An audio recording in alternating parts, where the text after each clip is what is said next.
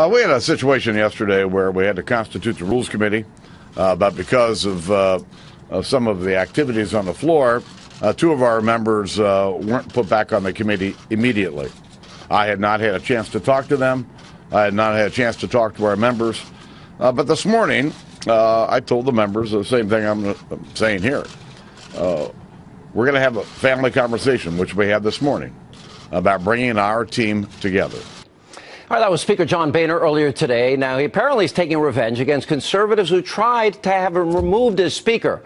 Now, Florida Congressman Dan Webster, he got 12 votes for Speaker in yesterday's vote, and fellow Floridian Richard Nugent, well, who supported him, were both kicked off the influential House Rules Committee. Here with reaction to this much more is the one and only great one, the Mark Levin is with us. Um, you know, it seems to me that the, the opposite should happen. That Speaker Boehner who's going to meet with President Obama next week, Mark, should go to these conservatives and say, let's talk. What's the problem? What can we do? Where is it that you think that I'm failing as Speaker? And what can I do better? And how can we work together against the radical Obama agenda? Why not handle it that way? Why do it this way? Well, why not talk to Obama and Pelosi and Reid the way he talks to uh, conservatives who uh, think he's done a lousy job as Speaker? As a matter of fact, Sean, uh, those 25 patriots who didn't vote for him for Speaker are in line with the vast majority of the Republicans. Pat Caddell did this huge poll, and as you know, uh, by profession, he's a pollster. 60% of Republicans in this country, obviously outside the Beltway, do not want John Boehner as Speaker. And about 85 or 90% of the Republicans in the House do. And several of those freshmen who said they would not vote for Boehner as leader did. Very cynical and they're dissembling. Let me just tell you this. Under John Boehner, he has adopted uh, Nancy Pelosi's policies.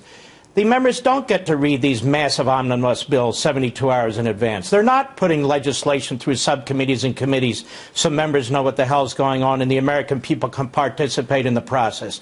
The entire summer, while he was leading these, these, these reelection efforts and so forth and so on, he was working a back deal with Obama to pass the biggest spending bill in American history and to fund every penny of Obamacare. Do you know what the Boehner legacy is right now, Sean? In the last four years, he's been the biggest spending, biggest borrowing, most profligate speaker in American history, and that includes more than Nancy Pelosi. You know, it seems that this is pretty clear that the message is that if you listen to your constituents and you vote your conscience, which I thought Republicans would like their fellow Republicans to do, that there's going to be a, a, heavy price to pay.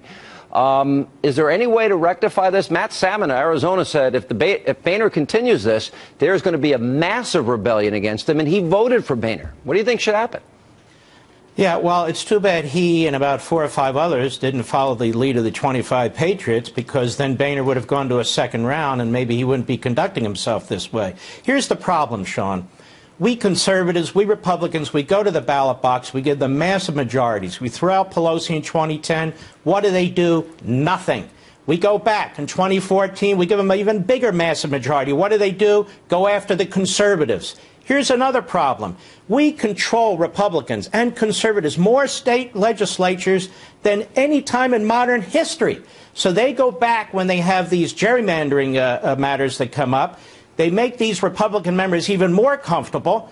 And so we get more the same in Washington. So while we think we're voting to reverse course, to, to, to stop Obama, to embrace the Constitution, look at what's going on. Yeah, what is Boehner doing today? Has he given one thought on how we reverse Obama's unconstitutional conduct? Has he given one thought about the debt, which is so high it's unbelievable? Do you know the Social Security Disability Insurance Fund at the end of 2016, two years, is broke? Boehner got a letter from the Social Security Administration telling him that. These aren't serious people. And what's going to happen is if they continue to do this clown car stuff, to empower themselves, to surround themselves with cronies, it is going to backfire one day. The Republican Party won a big election. But you know what's interesting? Substantively, at its core, it's weaker than I've ever seen it going into the 2016 presidential election. You know, as you talk about all these issues, there are tools available, constitutional um, powers that they have. The power of the purse, for example. You know, you talk about the increase in the debt and the deficits. I think what conservatives like you and myself have been saying, use that power. there seems to be an inordinate fear that they will be blamed, that there might be some type of retribution. Isn't it just the opposite? Doesn't taking a bold stand stop robbing our kids? Doesn't that end up helping them at the ballot box? Isn't that better politics? Yes, because politics isn't about whether we can do something today or tomorrow. I often hear it said, we got to do what's possible.